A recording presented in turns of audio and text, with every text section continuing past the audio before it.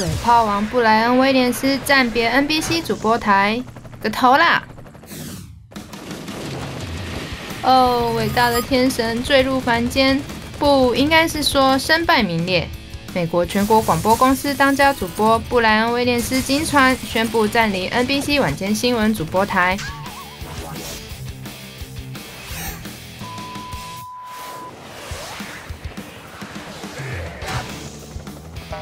威廉斯遭重炮打脸，因他谎称2003年随美军赴伊拉克采访时所搭的直升机遭火箭炮和 AK-47 袭击，实情遭同行老兵揭发后，威廉斯诚信荡然无存。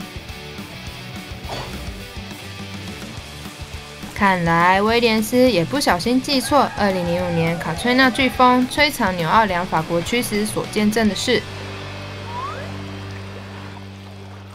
像是宣称从自己的饭店房间窗户看到水中有尸体飘过，该饭店或许并非像他所说的到处都是帮派分子。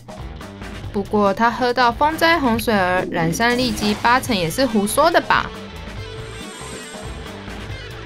美国全国广播公司已展开内部调查，汤姆布罗考当然超不爽。